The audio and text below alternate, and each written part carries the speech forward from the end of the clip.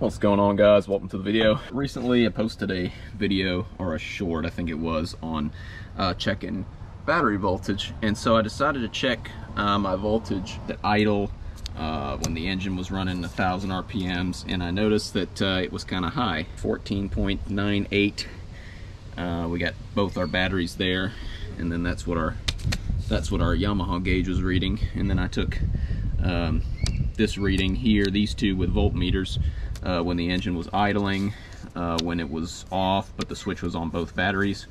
Um, so you know 12.9 is good but when it's idling it was at 14 just about 14.9 which I think is pretty high.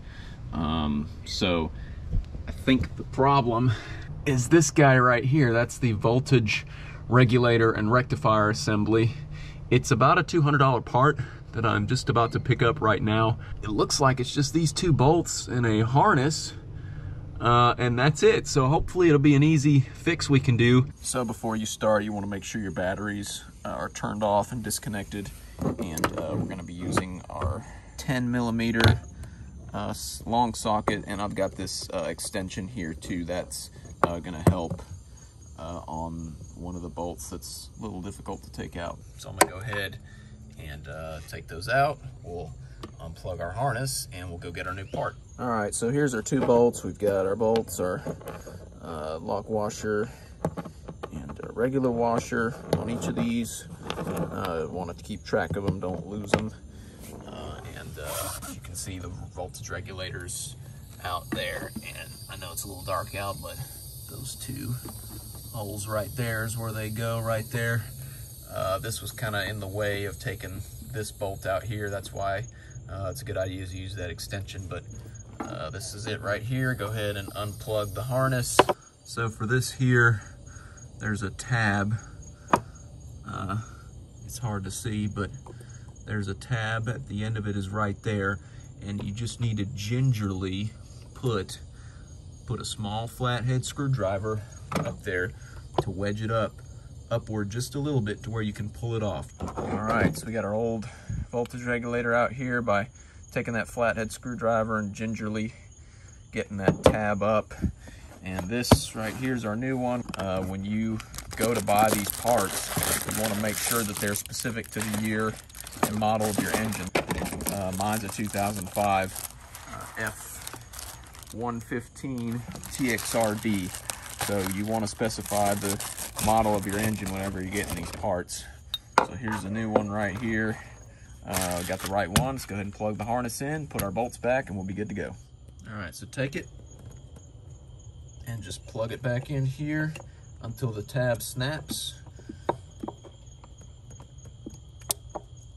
Heard it snap, so it's in. We're good to go. Put the bolts on and we're good.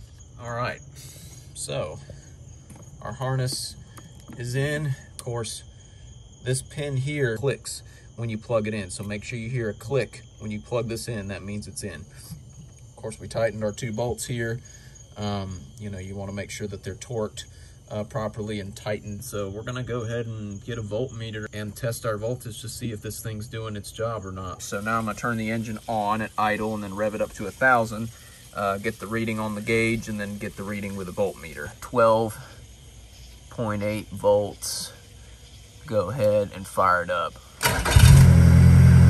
So that's saying 13.4, which is, that's pretty good. Um, we're at 8,000, 13.8.